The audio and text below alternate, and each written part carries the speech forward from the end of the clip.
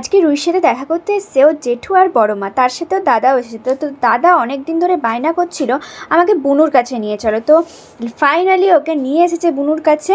আর দেখো, বুনুর জন্য কত সুন্দর সুন্দর গিফট এনেছে। তো, এই ইয়েলো সোয়েটারটা ওর সেম পিঙ্ক কালারের আছে বাট এখনও পরাতে পারিনি।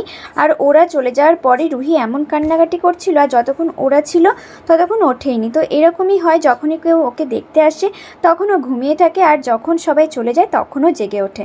সো আজকেও সেম জিনিসই হয়েছে। তো দাদা কেউই দেখতে পারেনি। ও পুনুকে চোখ খোলা অবস্থায়। তো মা ওকে একটু ভোলালো। তারপর ভাবলাম ও ঘুমিয়ে গেছে। তারপর যেই দেখছি ওকে শোয়াতে যাচ্ছি, তখনই দেখছি, না এখনও ঘুমায়নি। এখনও নড়াচড়া করছে।